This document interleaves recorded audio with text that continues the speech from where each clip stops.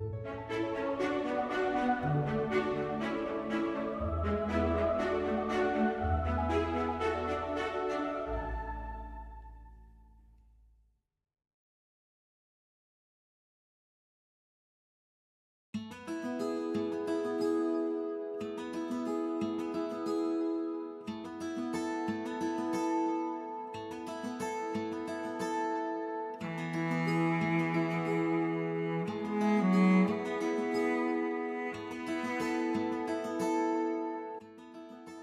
von der Freude. Der gute alte König war gestorben, und alle, die ihn gekannt oder auch nur von ihm gehört hatten, weinten um ihn. Denn wenn jemand stirbt, dann weint man, besonders wenn es ein lieber alter König ist, der immer gut und weise für sein Volk gesorgt hatte. Es war eine große, schöne Insel, wo er regiert hatte, und sein Schloss lag auf einem hohen Felsen dicht am Meere. Starke Säulen standen da und trugen graue Mauern. Hohe Fenster schauten weit über das Wasser und glühten, wenn die Sonne unterging. Und auf dem Turm flatterte eine blaue Fahne die weißen Wolken, die vorüberzogen, erzählten ihr von fernen Ländern. Die Gärten waren voller Rosen und Efeu rankte über den Mauern. Laubgänge und dichte Hecken gab es, stille Teiche und tiefe Brunnen. Jeden Tag war der alte König da spazieren gegangen, und das Volk konnte ihn sehen und wer ein Anliegen hatte, durfte durch das große goldene Gitter zu ihm hereinkommen und durfte auf den Wegen gehen, auch wenn sie gerade fein geharkt waren. Aber nun war der alte König tot, und der junge König und alle seine Leute hatten ihn begraben. Nicht in der unterirdischen Halle mitten im Walde, wo alle die früheren Herrscher auf steinernen Thronen zusammensaßen, sondern in einer tiefen Gruft unter dem Schlosse. Es ging nämlich die Sage, dass die dort im Walde weiterlebten und dass der letzte von ihnen zu Zeiten sich dem Volke zeigte, und von solchen Sachen mochte der junge König nichts wissen. Ich hatte wohl schon erzählt, dass das Volk sehr traurig war, wo nur vom alten König gesprochen wurde, da weinte man und alle sagten, so gut wie unter seiner Regierung würden sie es nie wieder haben. Die Alten mit den weißen Bärten meinten sogar, er sei gar nicht tot und brannten im Walde große Feuer an, damit der alte König sich zurechtfinden konnte, falls er durch das Land ginge. Einige wollten ihn auch gesehen haben, als er an einem Feuer sich die Hände wärmte der junge König aber durfte davon nichts erfahren, sonst wurde er bitterböse. Denn er war dabei gewesen, als sein Vater starb, und er hatte ihn begraben und selbst die Tür zur Gruft geschlossen. Und er ließ die Glocken läuten, den ganzen Tag und auch die Nacht hindurch, damit alle es hörten, dass der alte König wirklich tot war.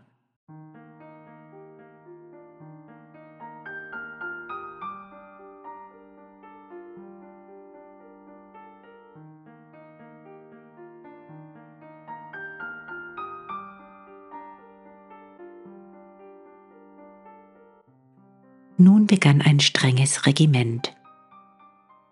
Der alte König hatte so gern auf dem Söller seines Schlosses gesessen, denn von da aus konnte er beinahe die ganze Insel überblicken, die tiefen, undurchdringlichen Wälder und die weiten Wiesen, und er hatte sich gefreut, wenn er sah, wie die Kinder mit den Tieren des Waldes spielten und wie die Alten vor ihren Hütten saßen und sich sonnten dann war er glücklich und fühlte sich so recht wie ein Vater von ihnen allen. Aber der junge König fand, dass das nicht so weitergehen konnte. Sein Volk hatte doch gar nichts Rechtes geleistet und musste einmal ordentlich arbeiten. und damit er selbst mit gutem Beispiel voranginge, zog er hinein in die Stadt und nahm seinen ganzen Hofstaat mit. Des Königs Räte bekamen nun zu tun, mussten schreiben, bis sie Tintenfinger kriegten, und es wurde ein Mann angestellt, der den ganzen Tag keine andere Beschäftigung hatte, als Federn zurechtzuschneiden. Da wurden Pläne entworfen und Berechnungen angestellt, und der König rechnete selbst alles nach, und wenn es nicht stimmte, diktierte er eine Strafarbeit. Eines Morgens gab es mitten im Walde, wo es ganz dunkel ist und niemals die Sonne hinkommt, ein lautes Krachen. Und als die Köhler des Waldes herbeiliefen, um zu sehen, was das sein mochte, da prasselte es, und große Äste kamen brechend herunter, und sie mussten schnell aus dem Wege springen, damit sie nicht totgeschlagen würden. Denn eine große Eiche fiel zu Boden und der Wald hallte wieder von dem lauten Schrei, den der Baum in seiner Todesangst ausstieß. Fremde Männer standen dabei mit Sägen und blanken Beilen und sagten, hier solle eine Sägemühle gebaut werden und der ganze Wald müsse abgehauen werden. Da erschraken sie alle sehr aber keiner wagte etwas dagegen zu sagen, denn sie wussten, wie streng der König war. Monatelang hörte man nun nichts anderes als das Kreischen der Sägen und das Schlagen der Beile. Und die Vögel wussten nicht mehr, wo sie ihre Nester bauen sollten. Die großen Hirsche und die kleinen Rehe wurden vertrieben, und viele flinke Eichhörnchen mussten ihr Leben lassen. Und was das Schlimmste war, alle Köhler und alle Jäger, die dort im Walde wohnten, mussten selbst mithelfen, die Bäume zu fällen. Nach einem Jahr stand die Sägemühle da, und überall auf der ganzen Insel standen Sägemühlen, und ihr Kreischen und Knarren war lauter als die Brandung des Meeres.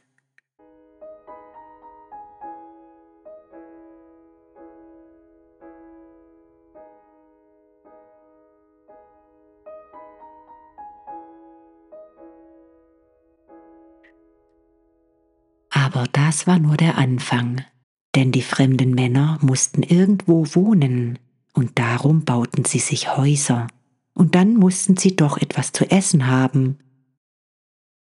Ja, das war nun freilich eine schlimme Geschichte, denn bei dem Häuserbauen wurden die Felder zertreten, auf denen das Getreide wuchs.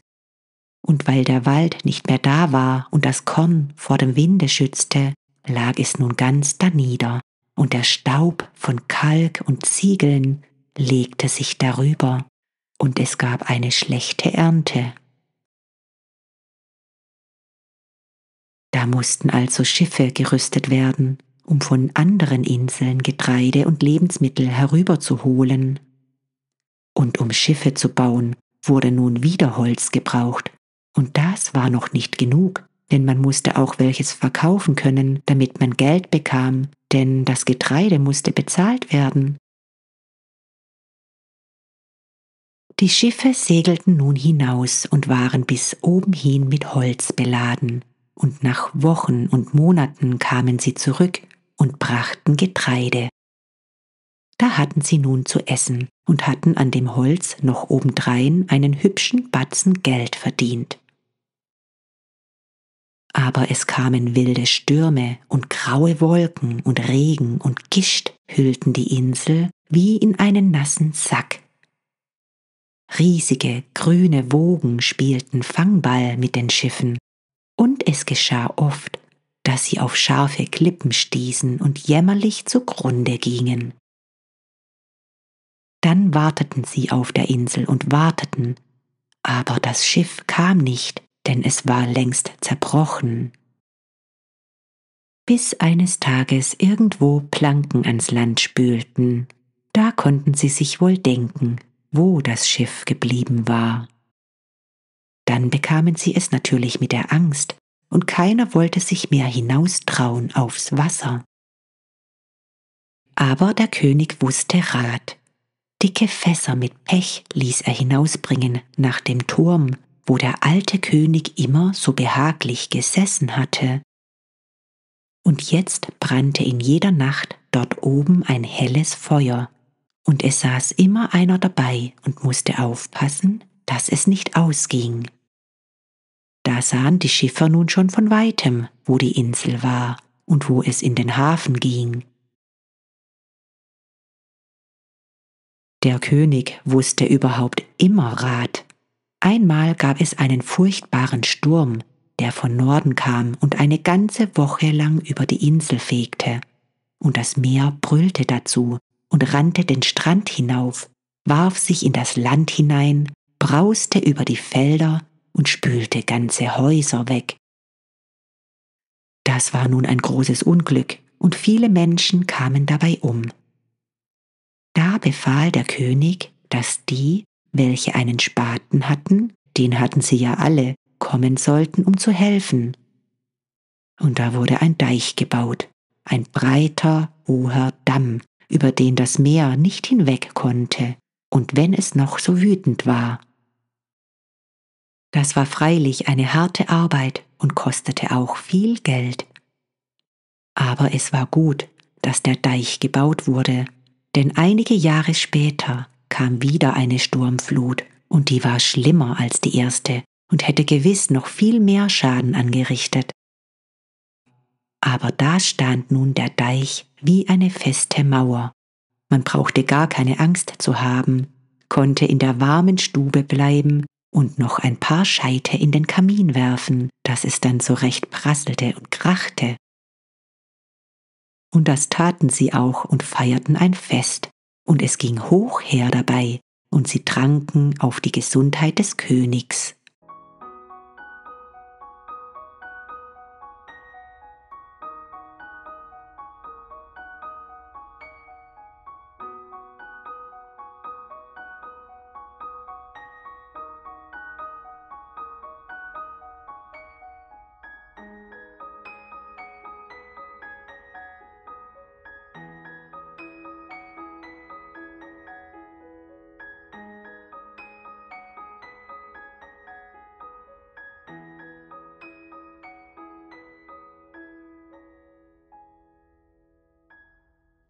Das muss überhaupt nun gesagt werden, dass sie dahinter kamen, was es eigentlich für ein kluger und starker König war, den sie hatten.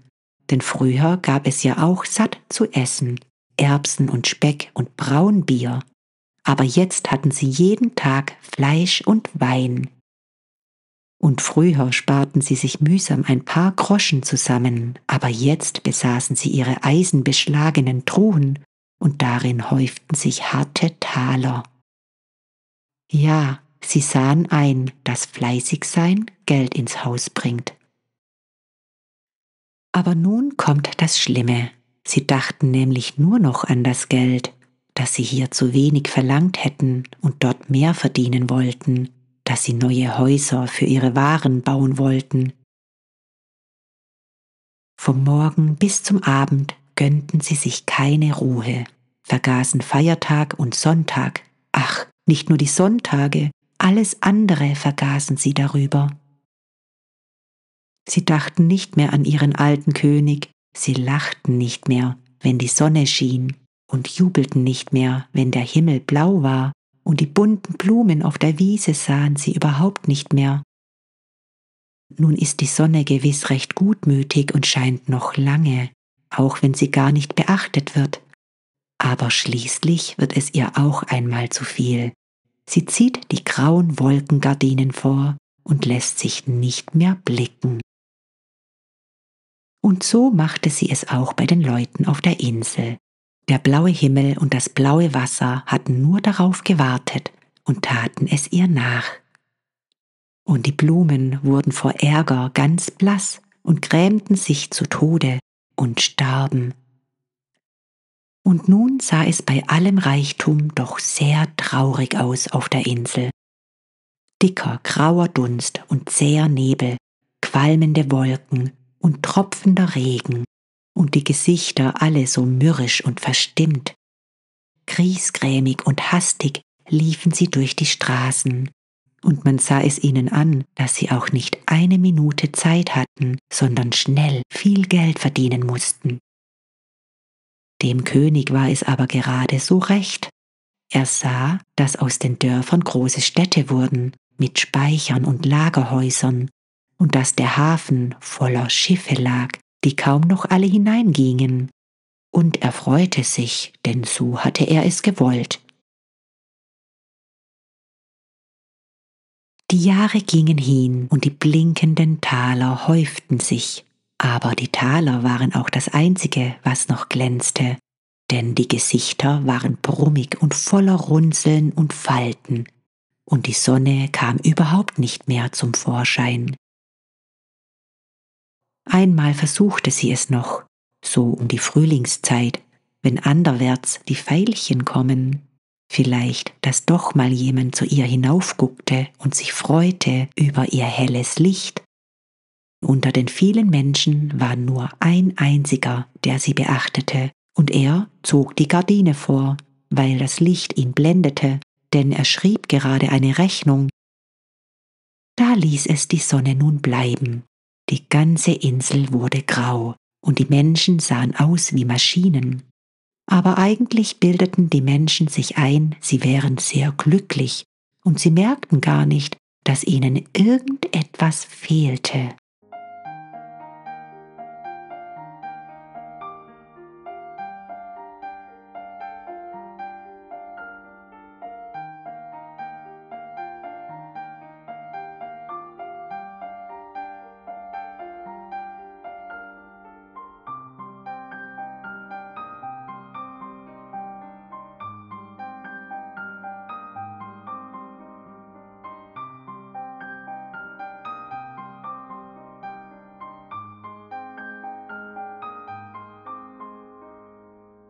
Nun muss ich aber genau erzählen, denn manchmal merkten sie es nämlich doch. Das war so um die Zeit, wenn der Tag zu Ende ging, man aber die Lampe noch nicht recht anstecken konnte. Dann saßen sie in der Wohnstube und ruhten ein Weilchen aus und überlegten sich, wie reich sie waren. Und wenn sie da so saßen und in Gedanken zählten, da ging manchmal ein leises Klingen durch das Haus, und keiner wusste, woher es kam. Vielleicht von der verstaubten Harfe, auf der Großmutter gespielt hatte, als sie noch jung war, die aber nun in der Ecke stand und von keinem mehr angesehen wurde? Jedenfalls wurden sie ganz traurig davon. Ja, sie merkten mit einem Male, dass es eigentlich ein trauriges Leben war, welches sie führten und eines Tages gingen sie zum König. Nicht gerade alle, aber doch ein paar von ihnen, auf die der König gern hörte, wenn er neue Pläne im Kopf hatte. Und der König war sehr freundlich zu ihnen und fragte, was sie wollten. Da sagte der Älteste, sie hätten eine Bitte, und der König möchte ihnen doch helfen, wie er das bisher immer getan hätte, da nickte der König und sagte, das werde er gern tun, und sie wüssten hoffentlich, dass er immer nur ihr Bestes wolle. Da verneigten sie sich alle ganz tief, und der Älteste fing an, die Bitte vorzutragen. Sie hätten nun gearbeitet, Tag und Nacht, viele Jahre hindurch, und wären reich geworden und besäßen große Schiffe und Silberbarren und seidene Kleider aber eines hätten sie darüber ganz vergessen. Seit der alte König gestorben, hätten sie nicht ein einziges Mal gelacht, wüssten auch gar nicht, wie man das eigentlich machte. Nur eine dunkle Erinnerung hätten sie, dass es schöner aussähe als eine ganze Truhe voller Taler. Und nun möchten sie das Lachen so gerne wiederhaben, und ob der König es ihnen nicht geben könnte. Der König richtete sich stolz auf und sprach Ihr seid fleißig gewesen und habt gezeigt, was arbeitsame Hände leisten können. Darum sollt ihr auch euren Lohn haben. Und dann beriet er seine Räte und veranstaltete ein großes Fest.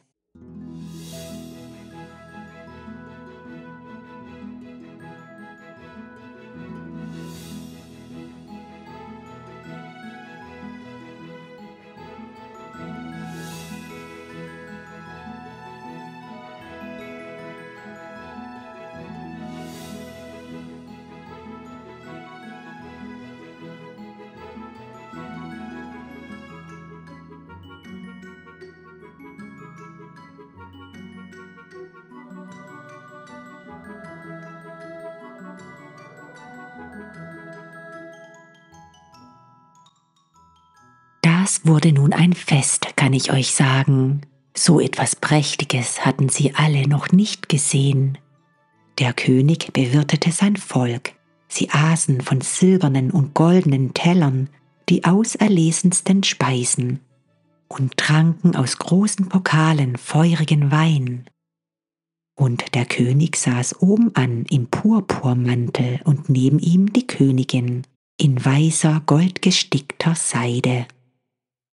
Und als es Abend wurde, flammte der Garten auf von Hunderten von Fackeln, und brennende Kugeln flogen in die Luft und zersprangen in schimmernde Blitze.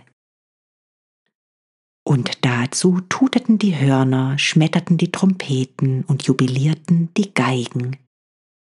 Dann war es plötzlich still, und die Musik schwieg, und der Garten war stockfinster und mit einem Male krachte ein Kanonenschuss und hundert andere krachten hinterher, und das Feuer rasselte in die Höhe, und das Licht brauste geradezu über die ganze Insel. Auf dem Balkon stand der König in goldener Rüstung und warf Goldstücke unter das Volk und lachte. Da fing das Volk an zu schreien und zu brüllen, und sie schoben und drängten sich und brüllten, was sie nur konnten. Das nannten sie Lachen, und da hatten sie also ihr Lachen nun wieder. Aber am nächsten Morgen in der Frühe, als alle noch von dem Feste träumten und von den Goldstücken, die es geregnet hatte, und von dem brüllenden Lachen, da schlich einer hinein zum König und hatte Tränen in den Augen. Es war schlimm, dass dieser eine gerade des Königs junger Sohn war, und der König erschrak, als er ihn sah. War das alles, was du ihnen geben konntest? sagte er schluchzend zum Vater.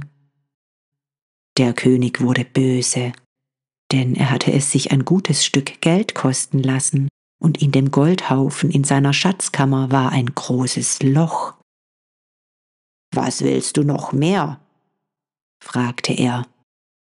Habe ich ihnen ihr Lachen nicht wiedergegeben? Ja, sie haben gebrüllt vor Lachen, aber es war kein glückliches Lachen. Es war keine Sonne da, und du musstest Fackeln anstecken lassen, und blauer Himmel war auch nicht da, und du ließest blaue Leuchtkugeln in die Luft werfen, damit man glaube, es sei der Himmel. Klingendes Gold hast du ihnen gegeben, aber kein klingendes Lachen. Der König zuckte die Achseln. Es fehlte die Freude, sagte der Sohn. Da wandte sich der König ab, denn er wusste nicht, was das war.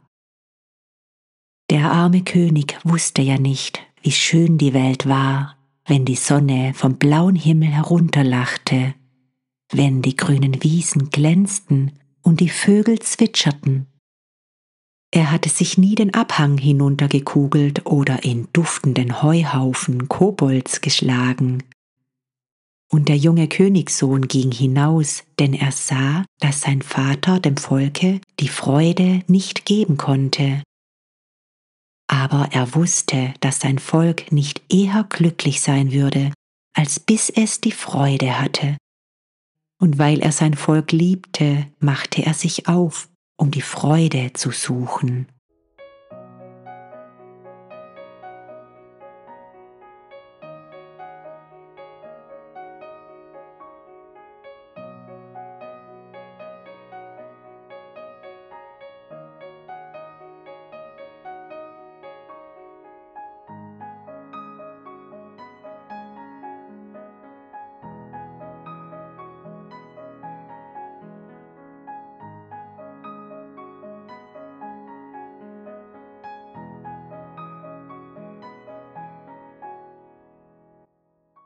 Ging den ganzen Tag, schwarzer Dunst hüllte ihn ein, und grauer Nebel drängte sich um ihn herum, und der Himmel weinte und hätte ihm so gern geholfen.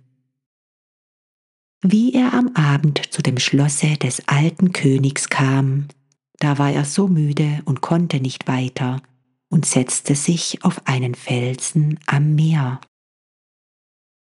Die Augen fielen ihm beinahe zu, so müde war er, aber er dachte immer nur daran, wo er die Freude wohl finden konnte. Da hörte er plötzlich ein Rauschen. Er dachte, das möchte eine Welle sein, die sich zur Abendruhe niederlegte. Aber das Rauschen wurde stärker und immer stärker, und da stand er auf und blickte nach dem Meere hinaus. Da sah er ein seltsames Schiff mit goldenem Schnabel und großen Segeln von dunkelblauer Seide. Es wiegte und wogte auf den Wellen, und das blasse Licht der untergehenden Sonne goss einen goldenen Schimmer über die hohen Masten. Und es glitt näher, und ein weicher süßer Duft von Blumen kam herüber, und dann legte es an, und er ging hinüber, und er fragte, Was ist dies für ein Schiff? Und eine Stimme antwortete, Das Schiff der Träume. Und wohin fährt es? nach dem Lande der Freude. Da setzte er sich auf ein seidenes Ruhebett und machte die Augen zu. Denn er war den ganzen Tag gelaufen, und da durfte er nun gewiss ein Weilchen schlafen, und das Schiff fuhr hinaus in das dunkle Meer.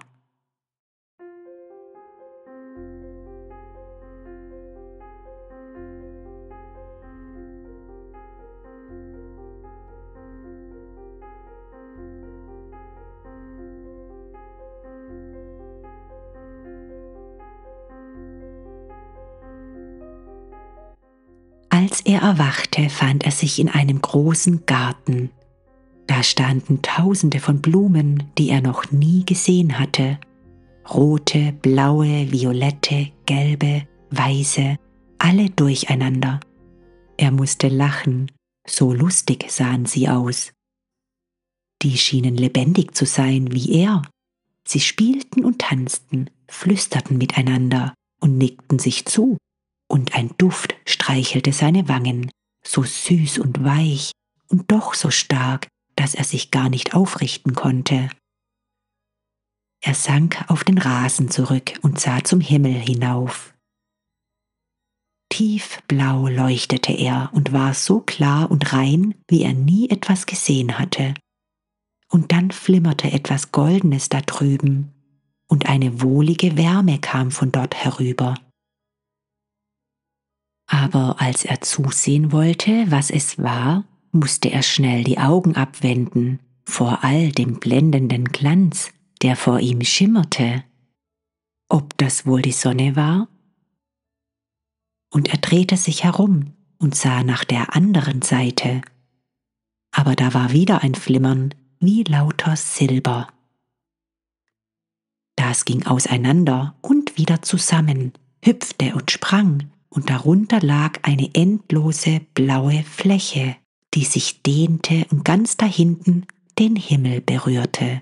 Das war das Meer. Und um ihn herum Blumen, nichts als Blumen, Hecken mit Blumen, Sträucher mit Blumen und dazwischen ein paar schmale Wege, und auf denen mochte wohl manchmal jemand gehen, oder waren sie für die bunten Schmetterlinge, die sich auf den Blumen wiegten? Nein, denn da kam eine junge Frau langsam durch den Garten daher. Schön war sie und trug ein weißes Kleid. Sie wusste wohl, dass er da lag, denn sie kam gerade auf ihn zu und rief seinen Namen. Wie ihre Stimme zu ihm herüberklang, da fingen mit einem Male alle Vögel an zu singen und alle Blumen läuteten und das Meer rauschte.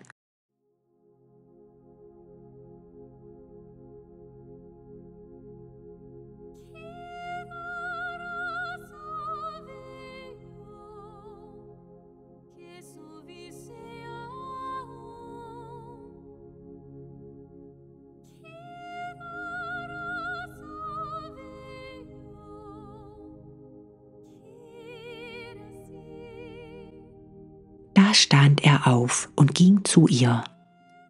Ist dies das Land der Freude? Sie nickte. Ich bin die Freude und dies ist mein Garten. Alle die Blumen, die du siehst, sind meine Kinder, und ich schicke sie zu den Menschen, damit sie ihnen von mir erzählen. Da wurde der junge Königssohn sehr froh und sagte ihr, dass es daheim keine Freude mehr gebe und dass er ausgezogen sei, sie zu suchen. Ich weiß es, erwiderte sie Du saßest am Meere und sehntest dich nach meinen Blumen. Darum sandte ich dir das Schiff der Träume, dass du zu mir kämst. Lässt du alle Menschen in diesen Garten hinein?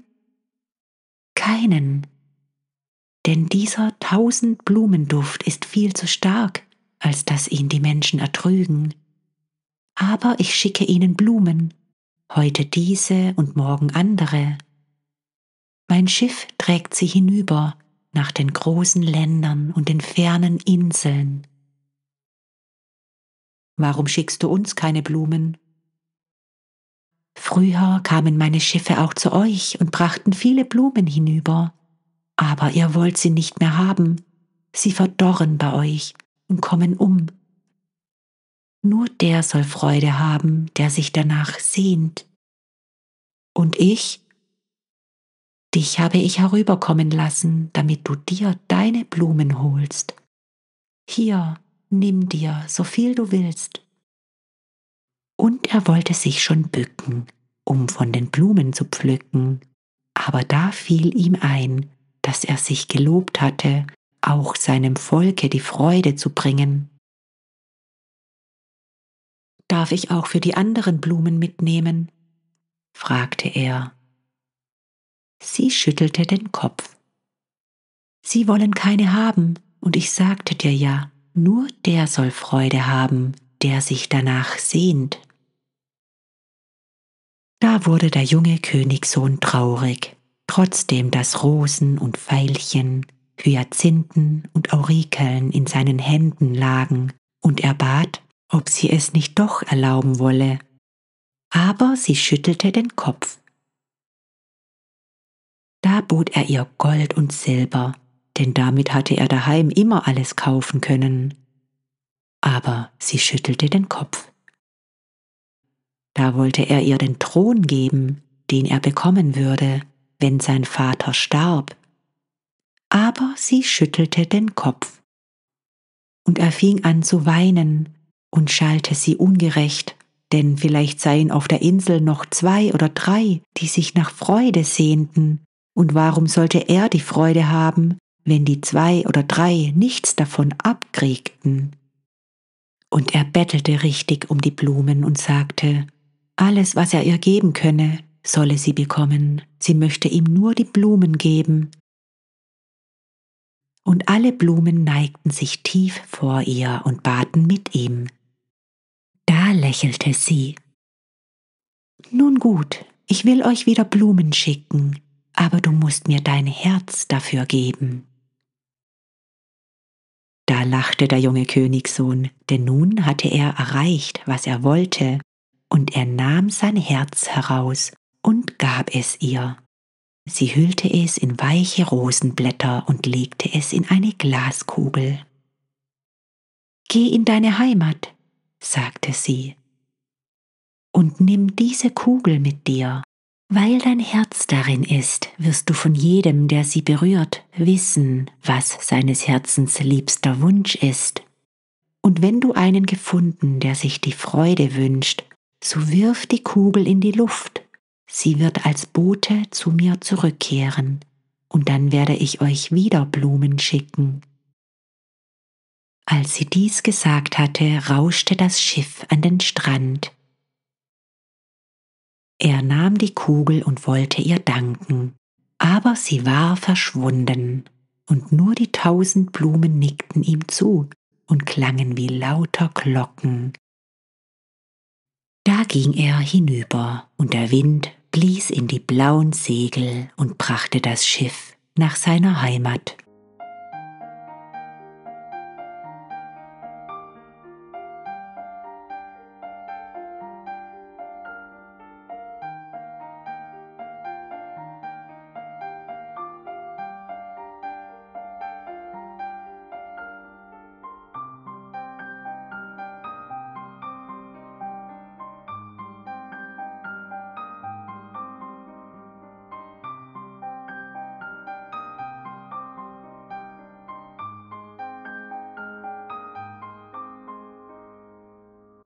Mit Stolz und Freude kam der Königssohn zu seinem Vater und berührte ihn unbemerkt mit der Kugel. Bist du wieder zurück? fragte der König. Hast du eingesehen, dass man nur glücklich sein kann, wenn man mächtig ist? Da erschrak der Königssohn, denn er wusste, dass sein Vater nichts anderes sich wünschte als Macht, und betrübt ging er hinaus. Im Vorzimmer traf er einen seiner Räte, gerade den, der immer so viel zu schreiben hatte. Er ging schnell auf ihn zu und sprach ihn an, der wünschte sich doch gewiss ein wenig Freude, wenn er den ganzen Tag im Zimmer sitzen musste. Aber kaum hatte die Kugel den Arm des alten Mannes gestreift, da bat er, ob der Königssohn nicht ein gutes Wort für ihn einlegen wolle, dass sein Vater ihn zum Minister mache. Da ging er auf die Straße, den ersten Besten, den er traf, hielt er an der riss den Hut herunter und verneigte sich tief, denn es war doch eine große Ehre, dass der Königssohn mit ihm sprach. Aber als er nun fragte, wie es ihm gehe und ob er gar keinen Wunsch hätte, da fing der Mann an zu jammern. Es seien schlechte Zeiten. Wenn er nur wenigstens sein Holz teuer verkaufen könne, dann möchte es vielleicht noch gehen, aber da wurde der Königssohn sehr traurig. War denn keiner, der sich die Freude wünschte? Wenn es auch nur ein ganz klein bisschen Freude war. Und er zog wieder durch das Land, aber er fand keinen. Der eine wünschte sich mehr Geld, der andere ein neues Haus, dieser hoffte auf einen Erben für seine Schätze, jener begehrte den Tod aber keiner sehnte sich nach Freude. Da gab er die Hoffnung auf. Auf einem Stein saß er an der Straße und betrachtete die Kugel. So gern hätte er sein Herz nun wieder gehabt, aber es war fest eingeschlossen, und er konnte es nicht herausnehmen,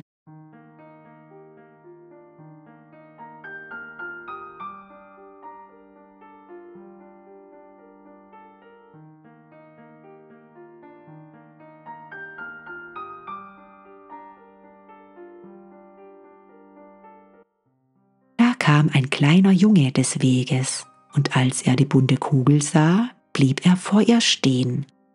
Und von da hinten kamen noch mehr Jungen, und von drüben kamen kleine Mädchen. Die Schule war nämlich gerade zu Ende, und weil da einer stand und sich etwas ansah, mussten die anderen doch wissen, was das war. Und da blieben sie alle vor dem jungen Königssohne stehen und der erste kleine Junge sah sich die bunte Kugel an, von links und von rechts. Und alle anderen Jungen sahen sie sich an, und als die Mädchen auch zugucken wollten, wurden sie weggeschubst, aber etwas kriegten sie doch noch davon ab. Da nahm der kleine Junge die Kugel in die Hand und wollte mit ihr spielen. Das soll eine Freude geben, schrie er und dann warf er die Kugel in die Luft und ließ sie springen. Und die Kugel tanzte, und all die kleinen Jungen und alle die kleinen Mädchen jauchzten vor Vergnügen. Da hatte der junge Königssohn nun doch gefunden, was er suchte, und er lachte. Oh, ihr könnt euch wohl denken, wie glücklich er lachte und plötzlich zerrissen die Wolken und die Sonne kam hervor. Und die Kugel tanzte auf und nieder und flimmerte in dem goldenen Licht. Und die Kinder jubelten, und mit einem Male war die Kugel weg. Mitten in den blauen Himmel hinein war sie geflogen.